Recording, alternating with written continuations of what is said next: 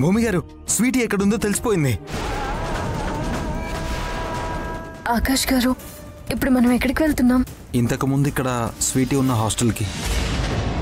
Sweety అని హాస్టల్లో అమ్మాయి.